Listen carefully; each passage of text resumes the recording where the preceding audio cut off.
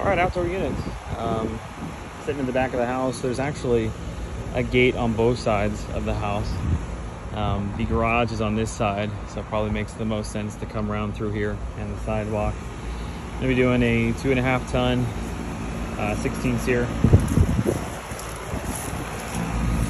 Line sets all need to be replaced, or excuse me, um, flushed and rewrapped. Looks like this thing is sitting on a cord pad here, which should be big enough for the new unit. We'll bring out a new vinyl composite pad just in case. I think there might be some poured concrete that needs to be moved. We'll just set the pad right on top of all that. Also, we do need to do a flue liner.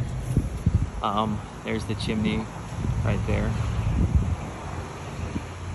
And in the basement, it is a little bit of a walkout, but I think it's actually just as easy to go through the garage. There's a uh, the garage on the other side of this has an entrance right down to the furnace.